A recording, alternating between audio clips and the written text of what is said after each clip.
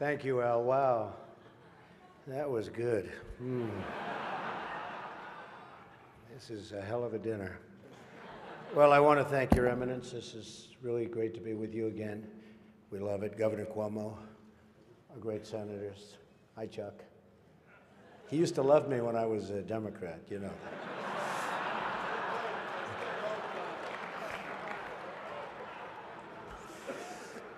Mayor de Blasio, wherever you are. Where is Mayor de Blasio?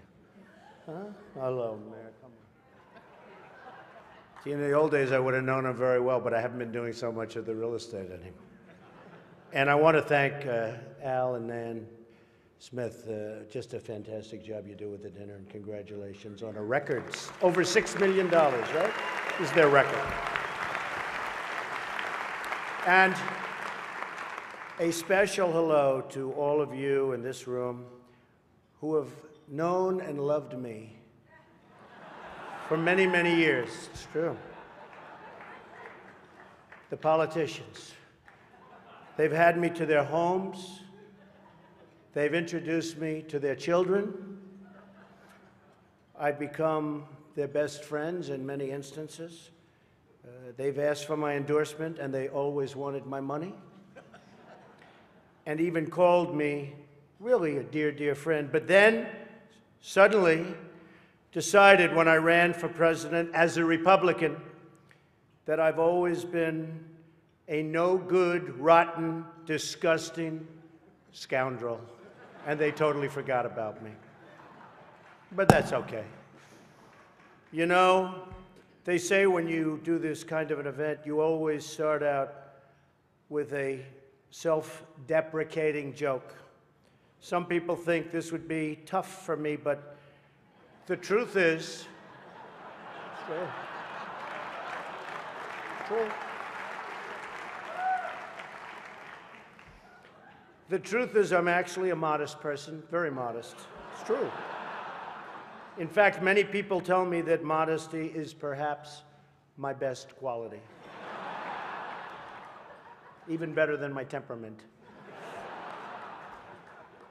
You know, Cardinal Dolan and I have some things in common. For instance, we both run impressive properties on Fifth Avenue.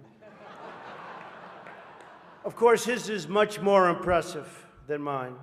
That's because I built mine with my own beautifully formed hands. While his was built with the hands of God, and nobody can compete with God. Is that correct? Nobody, right? That's right. No, no contest. It's great to be here with a thousand wonderful people, or as I call it, a small, intimate dinner with some friends. Or as Hillary calls it, her largest crowd of the season.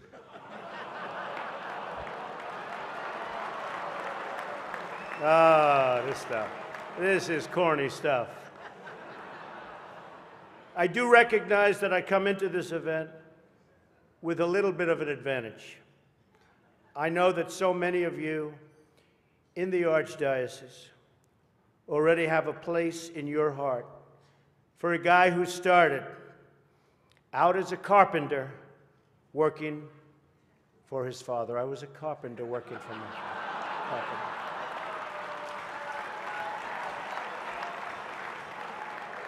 True. Not for a long period of time, but I was for about three weeks. What's great about the Al Smith dinner is that even in the rough and tumble world of a really, really hard fought campaign, in fact, I don't know if you know Hillary, but last night they said that was the most vicious debate in the history of politics, presidential debate, the most vicious. And I don't know, are we supposed to be proud of that or are we supposed to be unhappy? But they did say that, and I'm trying to think back to Lincoln. I don't think they can really compete with that. But the candidates have some lighthearted moments together, which is true. I have no doubt that Hillary is going to laugh quite a bit tonight, sometimes even at an appropriate moment.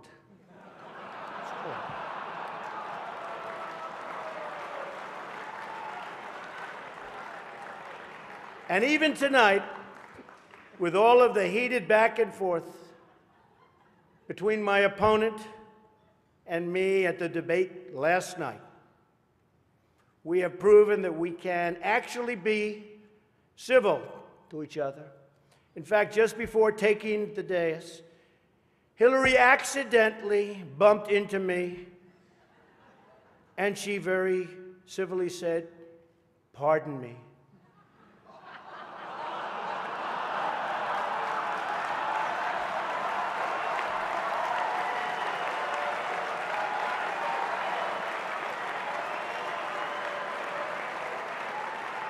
And I very politely replied, Let me talk to you about that after I get into office.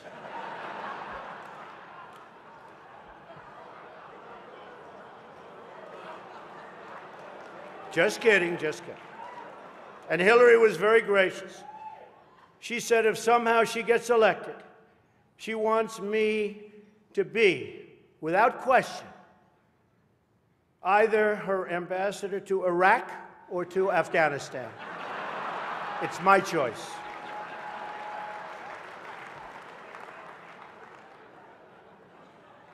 But one of the things I noticed tonight, and I've known Hillary for a long time, is this is the first time ever, ever, that Hillary is sitting down and speaking to major corporate leaders and not getting paid for it. True. True.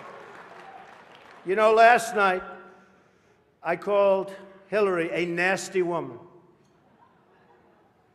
But this stuff is all relative. After listening to Hillary rattle on and on and on, I don't think so badly of Rosie O'Donnell anymore. In fact, I'm actually starting to like Rosie a lot.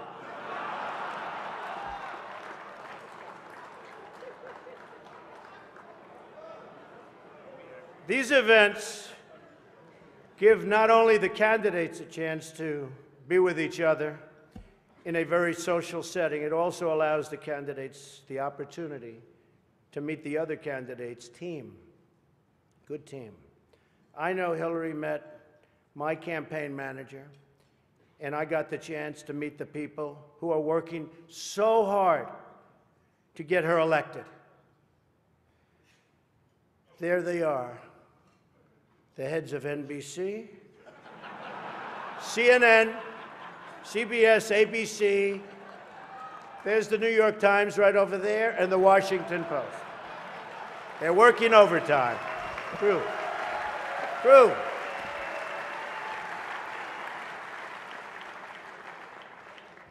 Oh, this one's going to get me in trouble. I... Not with Hillary. You know, the president told me to stop whining. But I really have to say, the media is even more biased this year than ever before. Ever. You want the proof? Michelle Obama gives a speech, and everyone loves it. It's fantastic. They think she's absolutely great. My wife, Melania, gives the exact same speech. And people get on her case. And I don't get it. I don't know why. And it wasn't her fault. Stand up, Melania. Come on. She took a lot of abuse.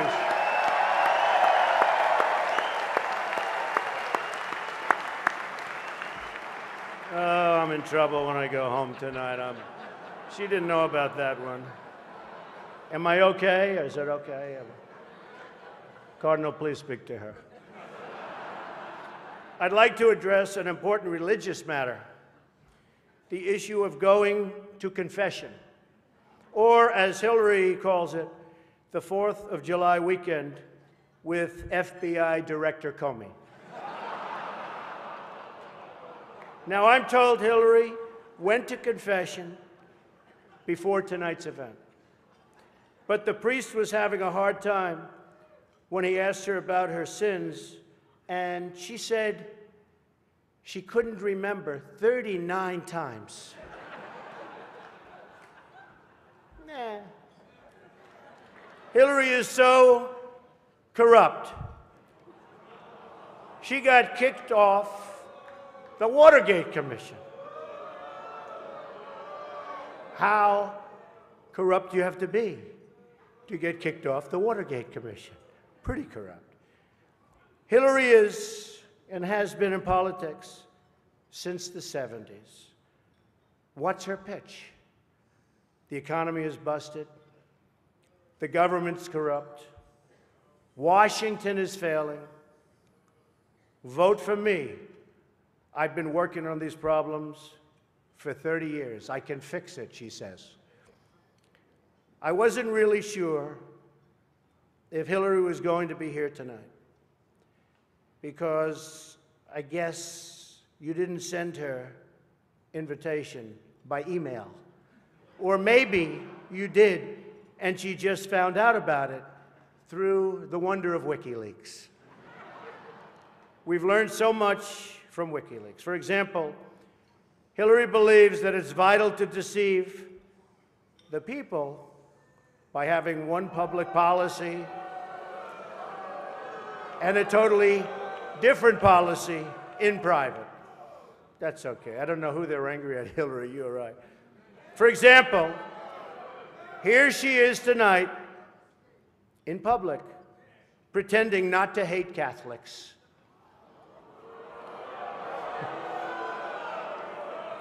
Now, if some of you haven't noticed, Hillary isn't laughing as much as the rest of us. That's because she knows the jokes. And all of the jokes were given to her in advance of the dinner by Donna Brazile, which is,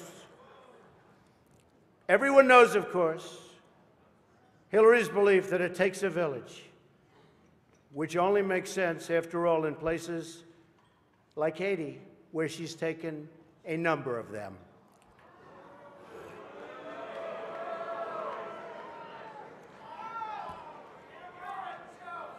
Thank you. I don't know, and I don't want this evening without saying something nice about my opponent. Hillary has been in Washington a long time. She knows a lot about how government works. And according to her sworn testimony, Hillary has forgotten more things than most of us will ever, ever know. That I can tell you. We're having some fun here tonight, and that's good. On a personal note, what an amazing honor it is to be with all of you. And I want to congratulate Hillary on getting the nomination, and we're in there fighting. And over the next 19 days, uh, somebody's going to be chosen. We'll see what happens. But I have great memories of coming to this dinner with my father over the years when I was a young man. Great experience for me. This was always a special experience for him and me to be together. One thing we can all agree on is the need to support the great work that comes out of the dinner. Millions of dollars have been raised to support disadvantaged children, and I applaud the many people who have worked to make this wonderful event a critical lifeline for children in need. And that we together broke the all-time record tonight is really something special. More than six million net, net, net. The Cardinal told me that's net, net, Donald, remember. We can also agree on the need to stand up to anti-Catholic bias to defend religious liberty, and to create a culture that celebrates life. America is in many ways divided.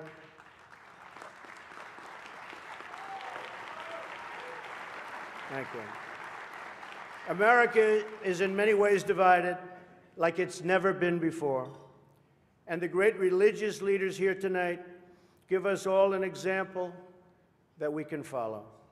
We're living in a time and age that we never thought possible before. The vicious barbarism we'd read about in history books, but never thought we'd see it in our so called modern day world. Who would have thought we would be witnessing what we're witnessing today?